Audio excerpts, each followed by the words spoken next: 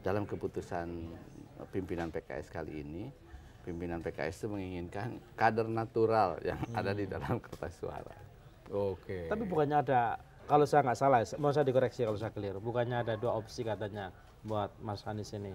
Satu, eh, kalau Mas Anies mau maju, pilihannya adalah satu, dia jadi kader PKS atau dia maju bersama kader PKS. Itu benar memang. itu tadi, pilihannya. ya kan? Sebagai naturalisasi. Artinya ada kemungkinan misalnya sebagai kader naturalisasi dia tetap bisa maju tanpa harus gandeng kader natural PKS itu. Tidak dalam keputusan itu opsi yang naturalisasi itu tidak ada. Oh. Oke. Tetapi sebagai sebuah kemungkinan dalam politik mungkin saja itu menjadi opsi, tapi tidak dalam keputusan yang sekarang. Keputusan yang sekarang tidak ada seperti itu. Hmm.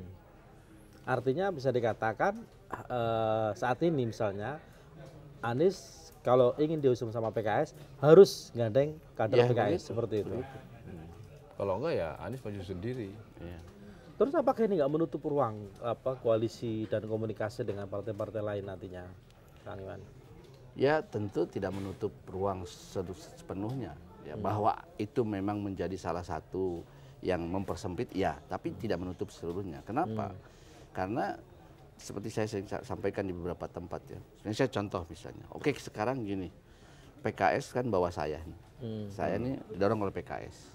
Sekarang Pak Anies coba maju dari Nasdem kan bisa. Hmm. Oh. Pak Anies adalah sebagai orangnya Nasdem, dinaturalisasi sebagai Nasdem, kan bisa. Atau dinaturalisasi sebagai PKB, Sehingga jadi koalisi murni. bisa kan? Seperti itu. Itu satu, satu. Yang kedua, Jadi gini, siapa pun partai pengusung Anies yang penting pendampingnya PKS. PKS. nah itu ya dari dari pemikiran PKS begitu.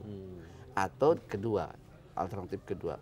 Oke, ini Pak Anies ini memang bukan milik siapa-siapa, bukan Nasdem, bukan PKB, bukan PKS. Ada orang netral. Tapi kita bertiga sepakat dia jadi cagup.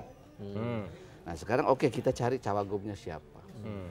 Di situ menurut saya kalau berdasarkan fatsun politik yang paling pantas jadi cawagup adalah PKS. PKS. Karena Kita bawa kursi paling banyak. oh, Pemenang Iya, pemilu. Pemenang pemilu Kan di akan- Jakarta. di Jakarta. Masih logis kalau PKS jadi cawagup karena paling besar. Sekarang tiba yang di bawah PKS jadi cawagup, PKS gak dapat apa-apa. Apa kata dunia?